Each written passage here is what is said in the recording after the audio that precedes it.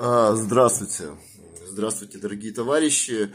Э, очень хотелось бы поблагодарить э, за поступившую помощь. Э, она не просто вовремя поступила, она поступила в день 1 мая, что позволило ощутить ну, по-настоящему солидарность, по-настоящему позволило наполнить этот день настроением праздничным что очень сложно в условиях войны. Поэтому спасибо вам огромное, э, всем вообще огромное спасибо, и мы обязательно победим.